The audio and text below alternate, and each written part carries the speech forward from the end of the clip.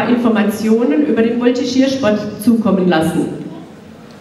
So, das Team Bad Friedrichshall hat nun Aufstellung genommen. Ihr habt sehr gut gemacht. Was wir von dir wissen wollen, Hannelore Leiser ist schon seit Jahren oder vielleicht sogar Jahrzehnte als Trainerin im Voltigiersport aktiv. Was macht Voltigieren für Jugendliche aus? Warum würdest du den Eltern empfehlen, die Kinder zum Voltigieren zu schicken?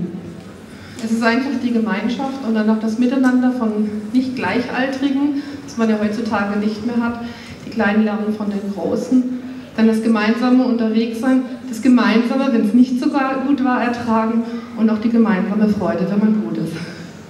Ja, und wa warum voltigiert ihr? Ihr habt bestimmt sehr viel Aufwand neben der Schule, auch noch das häufige Training. Macht es Spaß? Ja, also es macht auf jeden Fall sehr viel Spaß, sonst ähm, würde man das, glaube ich, auch zeitlich gar nicht unterbringen. Also wenn man das will, dann kriegt man das auf jeden Fall auch gemanagt, dass man auch öfter trainiert und das macht auf jeden Fall sehr viel Spaß. Und wie oft müsst ihr in der Woche trainieren, um solche Leistungen auf dem galoppierenden Pferd hinzubekommen? Ähm, wir trainieren dreimal in der Woche. Und trainiert ihr dann nur auf dem Pferd oder macht ihr auch Krafttraining? Wir haben Mittwochs ähm, Pferdetraining, freitags und samstags beides, also Turmpferd, Krafttraining und auch Pferd. Und habt ihr vielleicht auch noch andere Hobbys?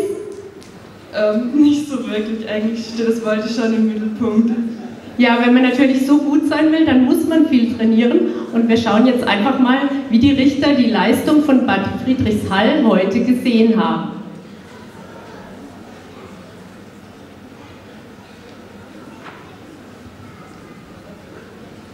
Das Ergebnis sollte nun auf dieser großen Anzeigetafel erscheinen und da haben wir es auch. Eine Endnote von 6,337. Vielen Dank.